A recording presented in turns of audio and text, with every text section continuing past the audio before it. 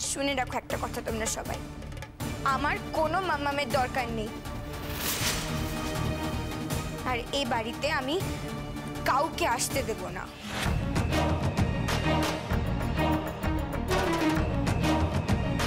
কাউকে না। কিছুতেই আসতে দেব না।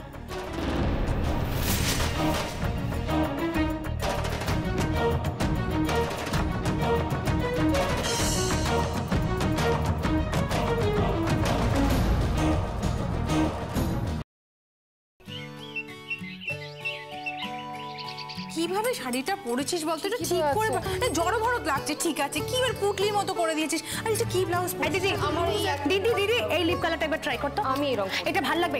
আরে ব্লাউজের সঙ্গে ম্যাচ আরে এটা ধর না লাগতে খেয়েছিস একটা কথা শোনে না। শোন না তোকে একটা কথা বলি। ওদের বাড়ি থেকে যদি এসে বলে তোকে গান গাইতে দু একটা লাইন তুই গেয়ে দিস। আসলে তোর ঝুলিতে তো গান ছাড়া আর কিছু নেই রে।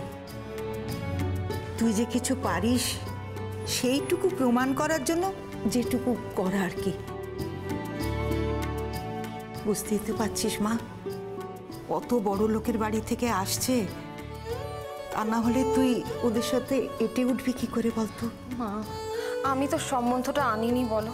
আচ্ছা দেখো ওরা অত বড় লোক অত বড় লোকের সাথে আমাদের কি ওঠা বসা মানায়? কেন যে সিদ্ধার্থদা এত বড় ভুলটা করল না আমি না জানি না। না, আমি কোনো ভুল করিনি। দেখো দিদি, ওরা বড় লোক হতে পারে, ওরা শিক্ষিত হতে পারে, কিন্তু ওরা খুব ঘরোয়া। আমি তোমায় বললাম না, ওদের বাড়ির মেয়ে বউরা কোনো কাজকর্ম করে না মানে চাকরি বাকরি করে না, সবাই বাড়িতেই থাকে। আর তুমি তো জানো, এক্ষেত্রে একটা স্পেশাল গ্রাউন্ড আছে। বাচ্চা মেয়েটাকে মানুষ করতে হবে। ওই বাচ্চা মেয়েটার মায়ের জায়গা তোমাকে পূরণ করতে হবে।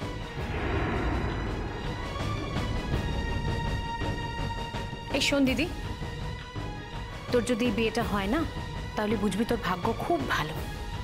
আচ্ছা কি দারুণ একটা শাড়ি ওর জন্য বার করলাম, তা না পরে এটা পরলো, দেখো। আচ্ছা রানী আমি ওই রকম রংচঙের শাড়ি কোনোদিনও পরেছি। আমায় কখনো দেখেছিস ওরকম শাড়ি পরতে? আমি যেমন, আমাকে তেমন দেখেই পছন্দ করুক, সেটাই তো আমি চাইব। তাতে ওদের ভালো লাগলে ভালো কথা, আর যদি ভালো না লাগে, কি আর করার আছে বল? আচ্ছা তোরা সকলে তো আমার বিয়ের আশা ছেড়েই দিয়েছিলিস। আমিও কখনো ভাবিনি আমার বিয়ের কথা উঠবে। তাহলে এত আশা করছিস কেন? আশা করছি কি আর সাদে মা? আমি চোখ বুঝলে তোর জেঠিমা চোখ বুঝলে তুই কোথায় যাবি? সেই তো বোনদের ঘাড়ে গিয়ে পড়বি।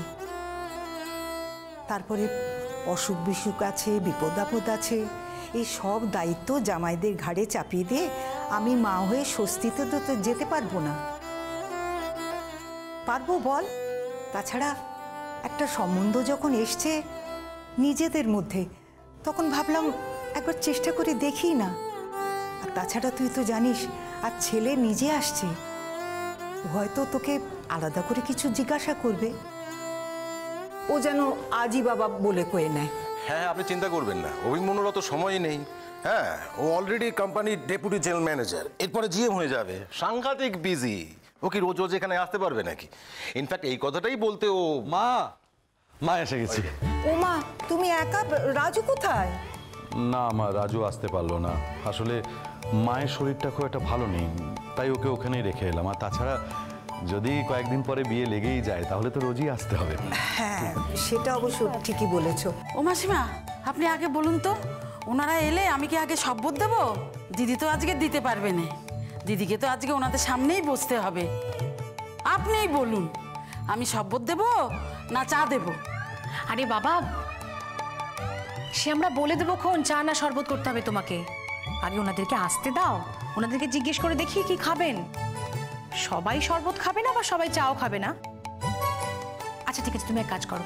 চা শরবত দু রকমেরই ব্যবস্থা রাখো কেমন? হ্যাঁ হ্যাঁ সব ব্যবস্থা আছে। তুমি যখনই বলবে আমি সঙ্গে সঙ্গে পাঁচ মিনিটের মধ্যে নিয়ে আসব। ঠিক আছে। আচ্ছা আচ্ছা জামাই ষষ্ঠীতে যে অত মিষ্টি বানানো হলো সেগুলো আছে তো? হ্যাঁ মাসিমা অনেক আছে। তাছাড়া আজকে এই জামাইবাবু আবার দোকান থেকে কত মিষ্টি নিয়ে এলো? না না তার সঙ্গে পারুর হাতে বানানো মিষ্টিও একটু দিও। তাহলে তো পাত্রপক্ষকে বলতে পারব মেয়ে এটা নিজের হাতে বানিয়েছে। ঠিক আছে মাসিমা। তোমার কি মনে হচ্ছে বলো তো? ও- ওরা আমার বানানো মিষ্টি দেখলেই আমাকে পছন্দ করে ওদের বাড়ি বউ করে নিয়ে যাবে। এ আবার কি কথা বলছিস? তোর অন্যদিকে খামতি আছে বলে আমাদের এই দিক থেকে তোকে ঠেলতে হবে। এটা তুই বুঝতে পারছিস না মা। এই জন্য এই জন্য আমি তোকে কতবার বলেছিলাম বলতো? স্পোকেন ইংলিশ ক্লাসটায় ভর্তি হ ভর্তি হ। তখন আমার কথা একটাও শুনলি না। আমি যেটুকু শুনেছি ওরা সাহেব শুভ মানুষ। এসে যদি ইংলিশে কথা বলে উত্তর দিতে পারবি? আচ্ছা এখন কি করব বলতো? এখন তো আর ইংরেজি শিখে উত্তর দেওয়ার মতো অবস্থায় নেই আমি। আচ্ছা তোরা যখন সকলে জানতিসই আমি পরীক্ষায় পাশ করতে পারব না, তখন জোর করে আমাকে পরীক্ষায় বসাচ্ছিসই বা কেন? আচ্ছা রানী, তুমি দিদিকে নার্ভাস করে দিচ্ছ কেন হ্যাঁ? হঠাৎ ইংরেজিতে কথা বলতে যাবে কেন? সবাই তো বাঙালি। না, দিদি, তুমি একদম ভয় পাবে না। আমি ওদের বলে দিয়েছি, তুমি তুমি লেখাপড়া একটু দুর্বল। কোনো রকমে তুমি গ্র্যাজুয়েশন কমপ্লিট করেছ। ওরা তো জানে, ওরা তোমায় কোনো রকম অস্বস্তিতে ফেলবে না। তবে কি জানো তো দিদি? ও বাড়িতে গেলে তুমি নিজের জন্য নিজেকে তৈরি করে নেবে। একটু একটু করে সব শিখে নেবে। শিখে নেবে মানে? কি শিখবে? স্পোকেন ইংলিশ ওখানে গিয়ে স্পোকেন ইংলিশ ক্লাসে যাবে তারপর বাড়ির সকলের সঙ্গে ইংলিশে কথা বলবে তাই তো? তুমি এমন সব কথা বলো না সিদ্ধার্থদা। আচ্ছা রানী তৈরি হওয়া মানে শুধু ইংরেজিতে কথা বলা? তাছাড়া তৈরি হওয়ার মতো আর কিছু নেই? হুম? আমাদের দিদি যথেষ্ট তৈরি। আমি বিশ্বাস করি, কোনো মানুষ যদি অন্তর থেকে ভালো হয়, তার সব খামতি না ঢাকা পড়ে যায়। এক্স্যাক্টলি ও বাড়ির এটিকেট আদব কায়দায় নিয়ম কানুন, যা কিছু আছে দিদি দেখতে দেখতে শিখে যাবে। আর তাছাড়া আমার মনে হয় না যে একজন মানুষকে সব কিছু জানতে হবে বা শিখতে হবে। আমি মনে করি, দিদির যা নিজস্ব শিক্ষা দীক্ষা আছে সেটা বজায় থাকলেই হলো। দেখো আমার কিন্তু খুব চিন্তা হচ্ছে। শেষ মুহূর্তে ওরা সিদ্ধান্ত বদলায়নি তো? না না না কোনো প্রশ্নই ওঠে না। ওরা কনস্ট্যান্ট আমার সঙ্গে যোগাযোগ রেখে যাচ্ছে। হ্যাঁ যে কোনো মুহূর্তে ঢুকে যাবে। ওরা বেরোনোর সময় আমাকে ফোন করেছিল আচ্ছা আচ্ছা তাই বলো। আসলে চিন্তা হচ্ছিল কেন জানো তো? আমরা যখন আশা একেবারে ছেড়িয়ে দিয়েছি ঠিক সেই সময় সম্বন্ধটা এলো। তখন আবার নতুন করে আমাদের আশাটা জাগলো। এখন ভাবছি এই সম্বন্ধটা যদি লেগে যায়, তাহলে খুব ভালো হয়। ওমা দেখো, আমরা তো ওদের বাড়িতে যাই। আসলে কি জানো তো, ওরা না খুব জাঁকজমক ভালোবাসে। দিদি আজকে যেভাবে সাজলো, আমি জানি না ওদের, ওকে পছন্দ হবে কিনা। ও আর একটু আজকে অন্যরকম ভাবে সাজলে ভালো করতো। তোদের দিদিকে তো কোনোদিনই ভালো নয় রে রাই দেখতে। আমাকে তো এরকমই দেখতে, এরকমই তো লাগবে আমায় দেখতে। ওই সব রং চং মেখে সাজলে আমাকে ভূতের মতো দেখতে লাগবে, তাদের তোদেরই মান সম্মান যাবে। তার থেকে আমি যেমন আমার যাতে স্বস্তি, আমাকে তেমনই থাকতে দে তোরা। অ্যাবসোলিউটলি রাইট দিদিকে যথেষ্ট সুন্দর লাগছে। হ্যাঁ রাই, তোমাদের ওড়ি ঢোবার কোনো কারণ নেই। হুম। আরে বাবা সবাইকে কি তোমাদের মতো চুল টুল কেটে আধুনিকা সাজতে হবে নাকি? আরে যে যেমন। দিদি ওসব কোশ্চিন কালেও করেনি আজও করবে না। এতেই বেশ ভালো লাগছে। এরে মা ওরা বোধহয় এসে গেছে। সোমনাথ চলো চলো।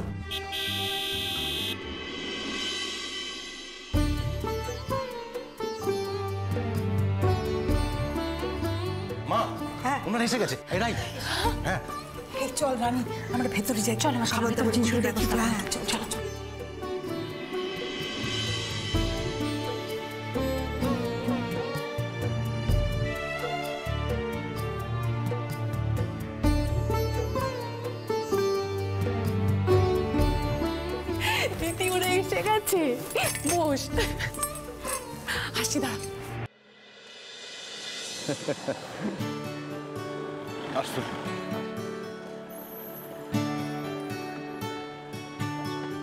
আসুন আসুন। নমস্কার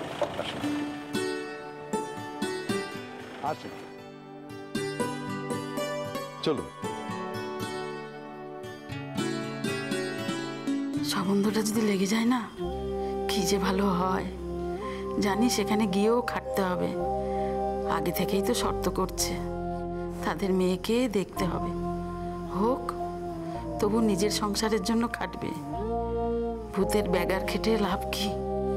ঠাকুর বর্দের সম্বন্ধটা যেন লেগে যায়। ঠাকুর, দেখো তুমি, এত ভালো একটা মানুষ, সে জীবনে একটা সংসার পাবে না। তাই কখনো হয়? আসুন আসুন আসুন। আরে, অভিমন্যু।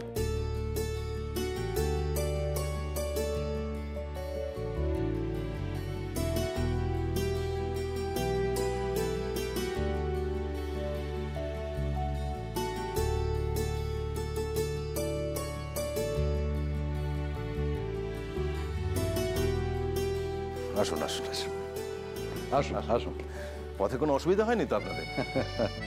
না, আসুন আপনারাও আসুন। চলুন। আসুন আসুন আসুন। মা ওনারা এসে গেছেন। আসুন আসুন। আসুন মাসিমা।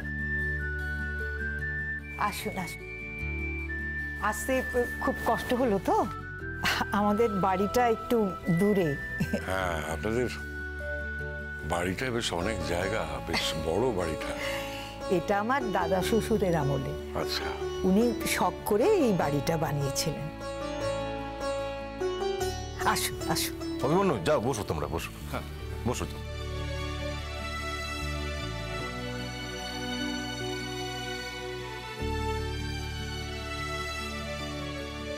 মা আপনিও বসুন না? হ্যাঁ হ্যাঁ বসছি। বসুন।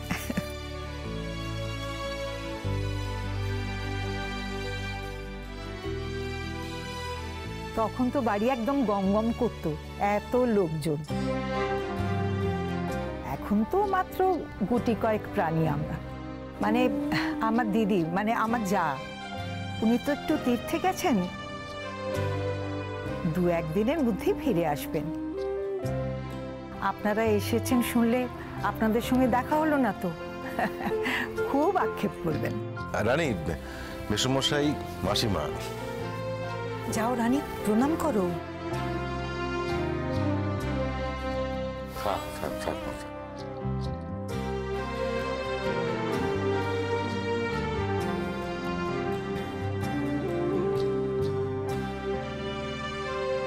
It's okay, it's okay.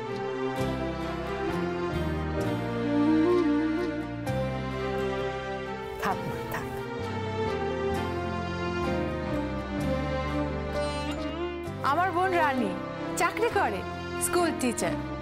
High স্কুলে পড়ায়ও। বাহ ভেরি গুড আর আমার ছোট বোন তো খেলোয়াড়। ওরও স্পোর্টস কোটাতে চাকরি হয়ে যাবে অফার লেটারটা এখনও আসেনি। ওর আজকে খেলা আছে সেই জন্য ওকে মাঠে যেতে হয়েছে। ও বলছিল ও আপনাদের সকলকে আজকে খুব মিস করবে। আপনাদের সঙ্গে ওর দেখা হবে না। বাহ। মেসমশাই ও হচ্ছে গিয়ে সোমনাথ আমার ভাইরা ভাই সেজ বোনের হাজবেন্ড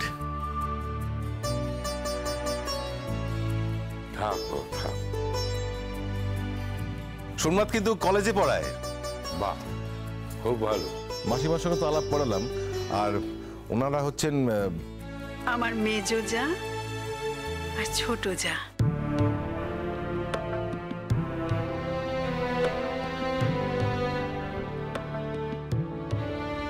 সেদিন ছিলনি না? আমার মেজ যা ছিলনি বাড়িতে। ও হচ্ছে কর্ণ অভিমন্যুর দাদা। আর ও হলো অর্ঘ। আর অর্ঘর বউ কথা। নমস্কার। আর ও হচ্ছে কর্ণর বউ শ্রেয়া। আর এই এই হলো আমাদের অভিমন্যু। ভীষণ দারুণ অ্যাডমিনিস্ট্রেটর ভীষণ স্কলার ছেলে ওর কোনো তুলনাই হয় না। ভাবছি কাজের কাজটা সেরে ফেলাই ভালো। আহ, অনেকটা দূরের পথ।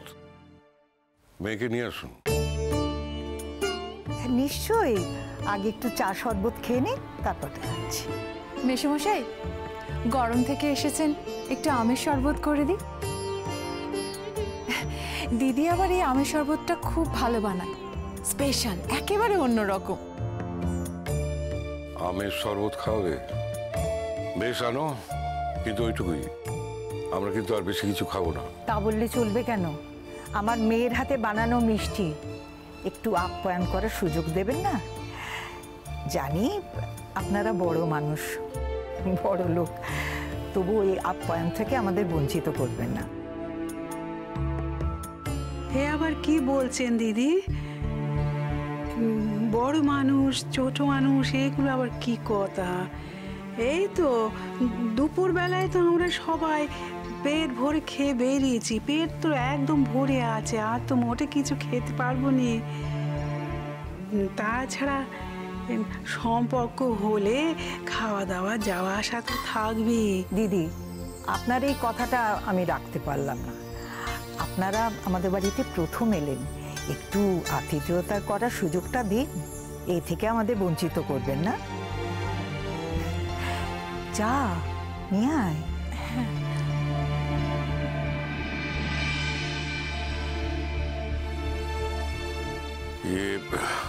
আচ্ছা আপনি আপনার বড় মেয়ের বিয়েটা এতদিন ফেলে রেখেছেন কেন? আর বলবেন না দাদা। আমার বড় মেয়ে না চিরকাল সংসারী। সংসারের সব দায় কাঁধে নিতেও খুব ভালোবাসে। প্রথম দিকে যে সম্বন্ধ দেখিনি তা নয় তারপরে ওই পরপর দুই মেয়ের বিয়ে হয়ে গেল।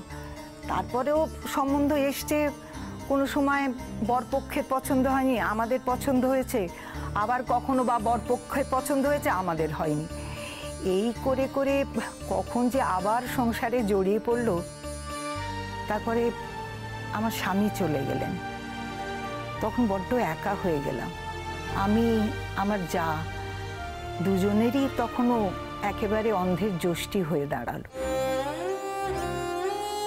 তারপরে মাঝে মধ্যে সম্বন্ধ এসছে। সিদ্ধার্থ বাবা যখন এই সম্বন্ধটা নিয়ে এলো, তখন ভাবলাম, সত্যি তো? আমি তো চিরকাল থাকব না। তখন মেয়েটা আমার কোথায় থাকবে? ঠাকুরের কৃপায় তখন ভাবলাম, যদি এই সম্বন্ধটা লেগে যায়, তাহলে আমি নিশ্চিন্তে যেতে পারি দাদা। কত লেখাপড়া জানে আপনার মেয়ে? মেয়ে এলে নিশ্চয়ই আপনারা জিজ্ঞেস করবেন। তবে আপনি যখন আমাকে জিজ্ঞেস করছেন তখন আমি বলি ওই বিয়ে পাশটুকুই করেছে আমার মেয়ে। রেজাল্ট কেমন ছিল? আহ রেজাল্ট এমন কিছু ছিল না। বুঝতেই তো পারছ তাহলে বিয়ের পর কি এম এ পড়তো না? আপনি ঠিকই বলেছেন, দাদা। আমার মেয়ে ওই কোনো রকমে টেনে টুনে বিয়ে পাশটা করেছে। মিথ্যে কথা আমি বলব না। বিয়ের ব্যাপারে মিথ্যে কথা বলে কিছু হোক, সেটা আমি চাই না, দাদা। আমার মেয়ে যা, তেমনই দেখে নেবেন। আমি মা হয়ে বলছি, আমার তো পাঁচটি মেয়ে, পাঁচজনই খুব ভালো। তবে এই মেয়ে আমার সর্বশ্রেষ্ঠ। ও মানুষকে এত যত্ন আত্মি করতে পারে আমি কি বলব? এত সংসারী, ও থাকলে কাউকে কোনো চিন্তা করতে হবে না। এই তো এই তো সেদিন জামাই ষষ্ঠী হয়ে গেল। আপনি জামাইদেরই জিজ্ঞেস করুন। হ্যাঁ আমাদের এই বাড়িতে আসার মূল আকর্ষণ হচ্ছে গিয়ে দিদি। আমরা তো এখানে এসে বডি ফেলে দিই। তারপর দুদিন ধরে দিদি যত্নার্থী করে আমাদের তারপর চাঙ্গা হয়ে বাড়ি ফিরি। হ্যাঁ সেটা ঠিক। আসলে কাজ তো অনেকেই করে কিন্তু আমাদের দিদি কাজটা এত ভালোবেসে যত্ন করে করে যে তার কোনো তুলনাই হয় না। ঠিক। আর হ্যাঁ দিদি কিন্তু খুব ভালো গান গাইতে পারে। হ্যাঁ। হ্যাঁ ও তো একটা গানের স্কুলে গানও শেখায়। বিয়ে হলে আমাদের সংসারে গিয়ে সকাল বিকেল হারমোনিয়াম বাজিতে আর গান করবে না। তাই আপনাদের মেয়ে কতটা গান গাইতে পারে সে ব্যাপারে আমাদের কোনো আগ্রহ নেই। না আসলে আমাদের বাড়িতে গেলে কিন্তু ওই গান টান টিউশনি টিউশনি মানে গানের স্কুল এসব চলবে না জানেন? সে তো বটেই। মানে তবুও একটু জানিয়ে রাখলাম ও কি কি পারে আর কি কি পারে না। আমাদের দিক থেকে বিয়ের প্রাথমিক কারণটা তো আপনাকে বলেইছি আগে। জানি বাবা। তোমার মেয়েকে দেখাশোনা করতে হবে তো? তুমি নিশ্চিন্তে থাকো। তোমার মেয়েকে এত যত্ন করবে, এত ভালোবাসবে, তুমি দেখে নিও। সম্বন্ধটা যদি পাকা হয়, তুমি এসে একদিন বলবে যে, মা, আপনি ঠিক কথা বলেছিলেন। তুমি আমার কথা মিলিয়ে নিও। কি আশ্চর্য, এত করে বারণ করলাম। তাও এত আয়োজন করতে গেলেন কেন? তা বলে শুনব কেন? আমার শ্বশুর বাড়ি এসছেন কিছু মুখে নিতে চলে যাবেন হয় নাকি? নিন। মেসমশাই। দিদি তুই শরবতের গ্লাসগুলো নিয়ে আয়। হ্যাঁ।